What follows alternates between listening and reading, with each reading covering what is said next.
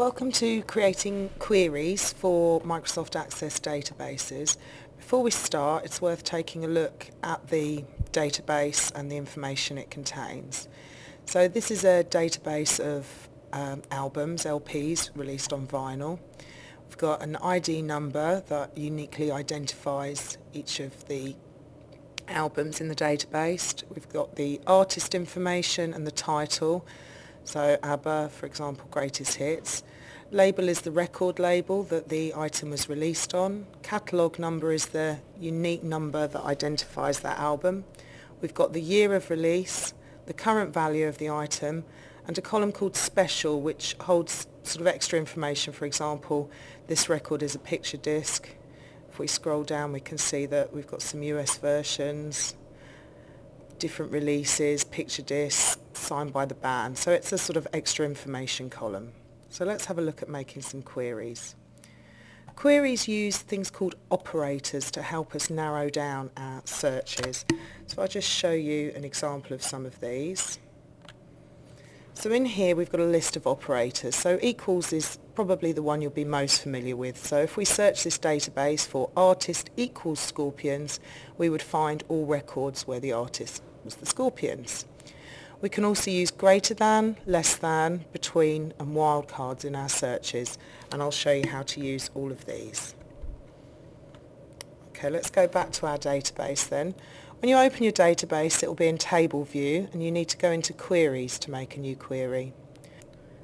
So to create a query, double click on create query in design view, add in our music database and click close. You can resize this window if you want to so that you can see all of the information. And you can make this bigger so you can see all of your fields. So I'm going to do a simple search for artist and title. If you double click on the fields it adds them in. We're going to look for equals scorpions. When you've typed in all the search criteria that you want, you simply click on the exclamation mark to run the query. So this finds all the records by the Scorpions, gives us the title of all the albums and tells us the label they were released on. And it, if you look down here you can see that it found 11 records that matched our query. You can narrow queries down even further. Let's say I wanted a list of Scorpions albums released on EMI. I can come back into my query.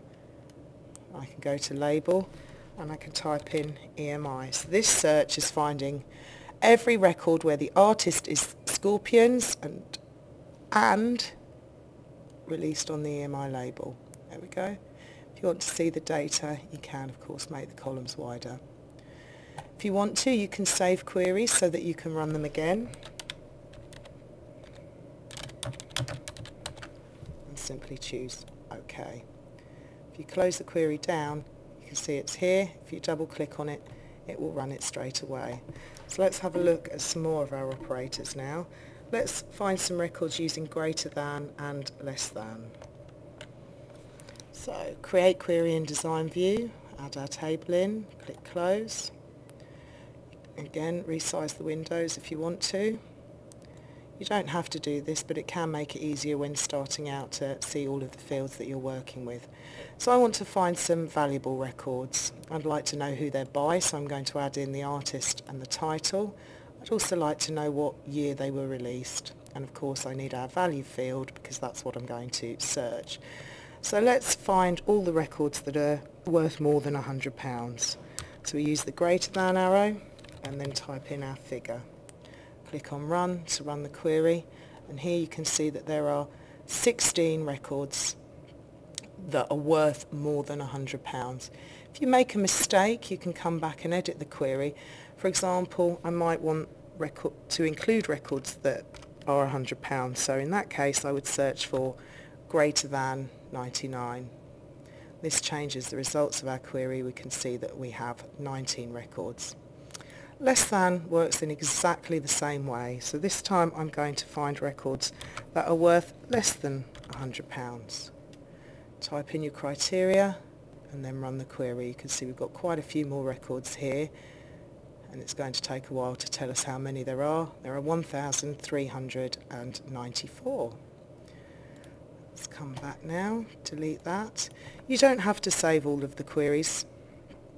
You simply need to save them if you're going to run them very often. The last operator that I want to show you is between. Let's say we wanted to find out all of the records that were, were released between 1965 and 1968.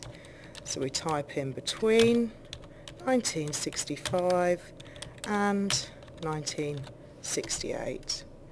When we click run, it will give us a list of those years. You can see here there are 62 records that meet my search. We can also use wildcards in searches. Let's say I want to find all of those records again between 1965 and 68, but I want to find records by bands beginning with S, but I can't remember quite what the band is called. This is where a wildcard, which is an asterisk symbol, shift and the number 8, is really useful. For example, by typing in S and the wildcard, this should restrict our list to only artists beginning with S. And you can narrow it down further if you can remember, for example, that the band starts with SP. We can use SP and then the wildcard and narrow it down. So wildcards can be very useful when you know a little bit of information but not all of your information. And you'll find this symbol commonly used all over the internet.